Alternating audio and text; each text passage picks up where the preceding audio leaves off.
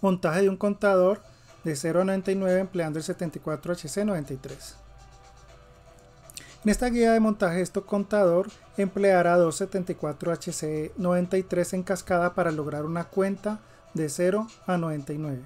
Veamos cómo se hace esta configuración. Aquí se tiene el contador 74LS o HC93 en su configuración básica. Vamos a emplear dos de estos dispositivos y vamos a conectarlos de esta manera tal que cuando llegue a 10 se haga el reset. ¿Esto cómo se logra? Teniendo en cuenta que cuando es 10, Q3 y Q1 serán 1 y al estar conectados a los terminales de reset, el contador nuevamente hará la cuenta a 0. Aquí tenemos los dos contadores en cascada con la configuración que hemos visto para ir de 0 a 9. Como ya se había explicado, tenemos que cuando es el primer contador que está al lado izquierdo llegue a 10, generará los unos de reset. En el contador que tenemos al lado derecho podemos ver que la cuenta inicial será 0. Una vez que se haga el reset,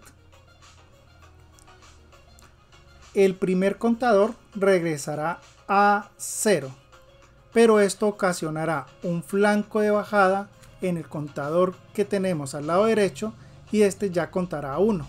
Y solamente cada vez que se repita este proceso de cuenta, se generarán flancos de bajada para que el otro contador incremente.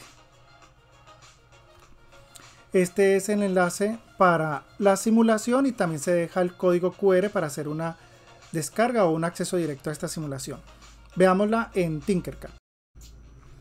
En la simulación de Tinkercad tenemos un montaje completo con dos decodificadores CD4511 ya que tenemos dos displays para visualizar la cuenta. Iniciemos la simulación.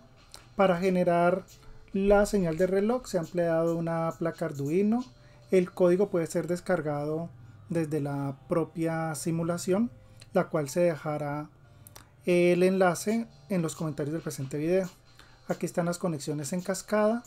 Para tener, digamos, un detalle de, en más detalle del montaje, se sugiere revisar videos anteriores donde se explica los montajes de los decodificadores y de un contador 74HC 93 de manera individual.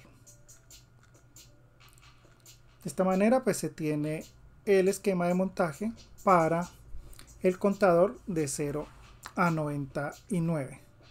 Detendré un momento la simulación. Vamos a ver también el accionamiento por medio del pulsador. Inicia en 0. Cada vez que se presione el pulsador se hará también la cuenta. 3, 4 y así sucesivamente.